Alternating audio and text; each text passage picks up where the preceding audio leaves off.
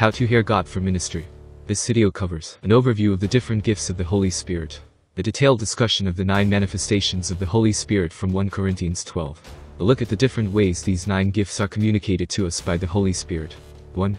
An overview of the gifts of the Holy Spirit. Important, God desires to speak to all of his children in order to initiate, assist, and empower ministry. 1. Hearing God for ministry purposes requires that we learn to function in the gifts of the Holy Spirit.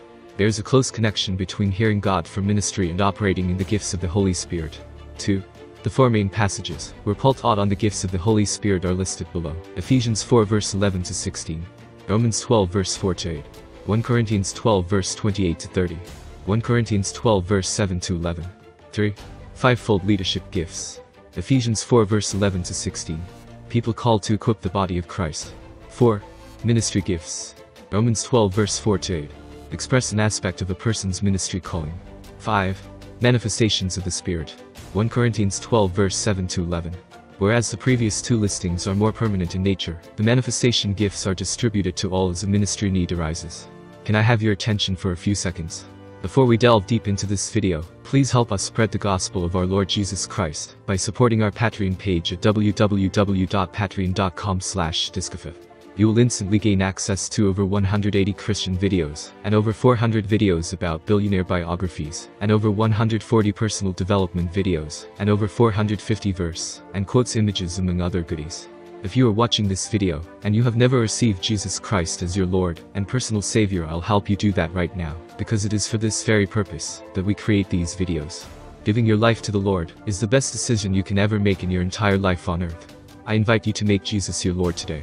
In Romans 10 verse 9 the Bible says that, If thou confess with thy mouth, that Jesus is Lord, and believe in thine heart that God raised him from the dead, thou shalt be saved. Please, pray this prayer. Dear Heavenly Father, I believe with all of my heart, that Jesus is Lord. I believe that he died on the cross, and that on the third day God raised him from the dead. I believe that Jesus is the Lord of my life from this day onward. I'm now born again. In the name of Jesus. Amen. Well done for making this prayer. You are now born again. Attend a Bible-based church and subscribe to our YouTube channel, and support us on Patreon to keep learning the truth of God's Word as you become an excellent Christian every day. Our Patreon page is www.patreon.com slash Link is also in the description. Let's continue with our today's topic, definitions. Fivefold leadership gifts, ministry leaders that are called to equip the body of Christ for effective service. Ministry gifts, God-given abilities that express our motivation and calling in ministry manifestations of the Holy Spirit, temporary demonstrations of the Holy Spirit's power in order to meet a specific need at a given moment. Important, to properly operate in any of the gifts listed, we must know God's voice. For example, to be an effective giver, we need to hear God tell us who to give to, and how much we should give. To function as a prophet, we need to hear God's voice for the prophetic word. To be a competent leader, we need to hear God for the vision into which to lead the people. However, for the purposes of this class, we will focus on the third category of gifts, the manifestations of the Holy Spirit from 1 Corinthians 12 verse 7 to 11. 2. The nine manifestations of the Holy Spirit. 1. It is imperative that we place a high priority on the gifts of the Holy Spirit. 1 Corinthians 12 verse 7 to 11. Helps us grow in ministry effectiveness. Jesus ministered in this fashion, by receiving a word of knowledge or word of wisdom.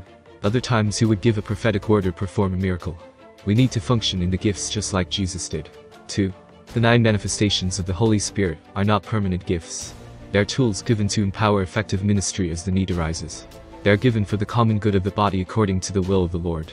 At any given time, each of us can function in any of the nine gifts. Many people believe they only have one or two of these gifts. Some think that one person may be gifted only in the word of knowledge, or in the word of wisdom, or that certain individuals only function in the ability to distinguish spirits. This is an incorrect way to interpret this passage of scripture. A better way to look at these gifts is to expect that every person can operate in all nine gifts as a ministry need arises. As we minister this way, we will minister just like Jesus did. Important, each of us can and should experience all nine of these gifts as the Holy Spirit determines we have need of them. 3. How God communicates to us through the hearing gifts. 1. The gifts operate through revelation, speaking, and power. Lower definitions in the table that will help us grasp this truth. Definitions, revelation gifts, the gifts of the Holy Spirit that communicate unknown information to us. Speaking gifts, the gifts of the Holy Spirit that are expressed through speaking. Power gifts, the gifts of the Holy Spirit that activate and release God's power. These nine gifts involve recognizing God's voice and then speaking or acting upon what God has said. They are words of knowledge. words of wisdom, distinguishing of spirits, prophecy, interpretation of tongues, recognizing God's voice through the hearing gifts. Important key to function in any of the manifestations of the Holy Spirit. God will speak to us through one or more of these hearing gifts in our spiritual senses. 4. 9 common ways God speaks through our spiritual senses. 1. Internal audible voice. When God speaks through an internal audible voice, we hear an actual voice in our spirit man. It is internal, and not heard by others. However, it appears as though someone is speaking to us within our inner man. 2. A sentence fragment. A sentence fragment is more often a thought than an internal voice. Frequently, it is just the beginning of what God desires to speak. As we act on the fragment, we usually receive additional revelation. Often, prophetic words begin with a sentence fragment. 3. A word. In our thoughts, we hear one word. Often, a word of knowledge used to initiate healing comes this way. Many times, the gift of discerning of spirits used in deliverance comes this way. God speaks a word most often as words of knowledge, words of wisdom, or discerning of spirits. 4. The Rhema word. Rhema is actually the Greek transliteration meaning utterance or spoken word. When God speaks with a Rhema word, he will usually quicken a specific scripture verse that is a now word for a particular situation. The verse will have direct application to a ministry situation. 5. Supernatural intuition. Supernatural intuition is when we have immediate knowledge about God's will without conscious reasoning. In other words, we just know the will of God in a particular circumstance. We don't hear a specific word or phrase in our spirit, but we intuitively know what is happening in a situation, and we know what God wants us to do. It is important to understand that this type of knowing is spiritual. It is not the same as knowing something in our mind, or feeling something in our emotions. It is a knowing in our spirit man. 6. Feelings in the body. God will often manifest a gift of the Holy Spirit through a feeling in the body. God speaks at times through a temporary pain or discomfort in our body. Usually the temporary pain will awaken us to an area of ministry that the Lord desires to minister in. 7. Picking up someone else's burden or bondage. At times, the Lord will allow us to temporarily feel the burden or bondage that someone else is experiencing. You may feel depressed, frustrated, overwhelmed, hopeless, or any number of other emotions. Because God is allowing you to encounter these feelings, He is showing you what a person is going through, so that you can pray for them or minister to them. Remember, Jesus took man's burdens to the cross.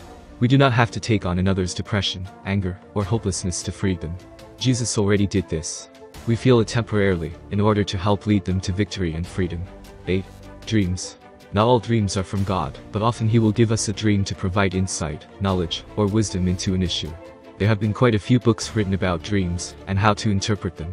Since dreams are somewhat of a parable, we must rely on the Lord to help us decode it. As we inquire the Lord about the meaning of a dream, He will show us. Dreams can be a very powerful way to hear, as God may use a dream to speak to us scenarios that we would not even consider. 9. Visions. The vision is a picture within our spirit man that occurs while we are awake. The vision can be in color black and white. It can be a brief picture that appears in our mind, or it can be extensive. We can have a vision while our eyes are open or shut. The vision is intended to help us see things in the spirit. Many times, a vision requires interpretation. Just like the saying goes, a picture is worth a thousand words. A vision adds vivid insight that far surpasses the limitations of words. 5. Conclusion. Hearing God's voice will add tremendous excitement and blessing to your walk with the Lord. Ministering in this way will also bless many people that you will minister to throughout your years of ministry. Now is the time to begin, or enhance your journey into recognizing God's voice for ministry. Can you please do us a favor? If you have been blessed by this video, please leave a comment, like this video, share this video, subscribe to this channel, and invite at least 200 plus souls, it could be family and friends, to visit Diskifaith YouTube channel, so that they may hear the gospel of our dear Lord and Savior Jesus Christ, and be born again. Don't forget to subscribe to our YouTube channel, and support us on Patreon. Our Patreon page is www.patreon.com slash Link is also in the description. Thank you and God bless you.